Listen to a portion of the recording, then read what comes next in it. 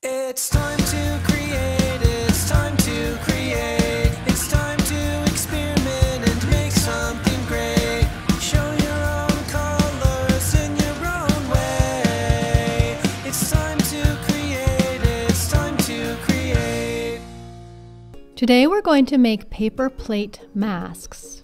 We'll collage cardboard shapes onto a paper plate base to create a unique face or animal mask that we can wear or use for decoration.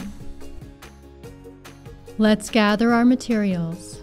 The materials we'll need to make paper plate masks are paper plates, and the sturdy kind is best, although any kind will work. Cardboard, scissors, glue, tempera paint, a hole punch, and some elastic. Let's set up for success. These paper plate masks have an adult prep component.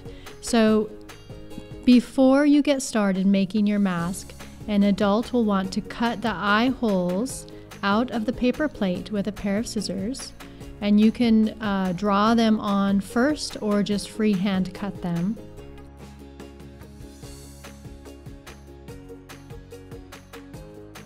And then you will also want to cut some corrugated cardboard into shapes such as circles, triangles, squares, rectangles, half circles. Uh, you, can, you can cut these into a variety of shapes. And then put the different shapes into um, separate bowls or muffin tin sections or the sections of an hors d'oeuvre tray or something like that.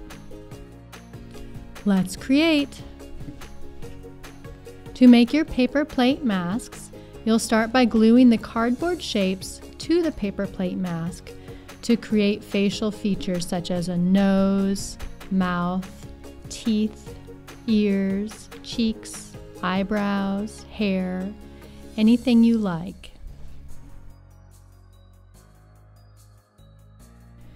If you need a cardboard shape that you don't have handy, you can draw it on a piece of cardboard and then cut it out or ask an adult to help you cut it out.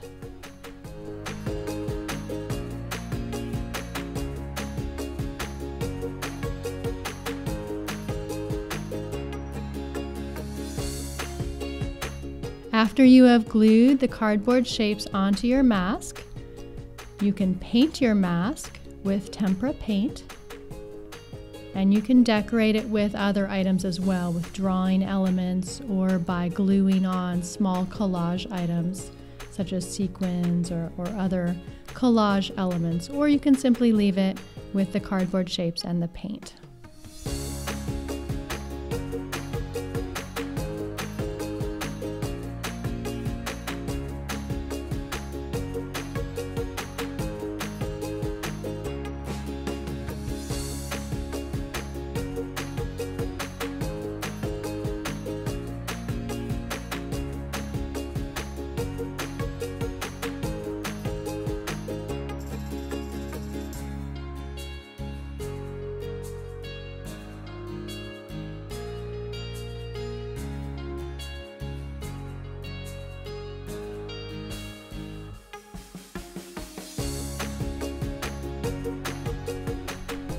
If you want to wear your mask, punch holes on both sides of the mask with the hole punch, and then tie a length of elastic to one hole.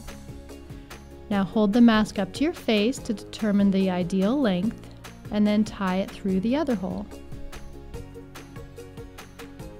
You can wear these face masks, such as for Halloween or for a party, or just for dress up and pretend play or you can use them uh, for decoration, hang them on your wall with other artworks.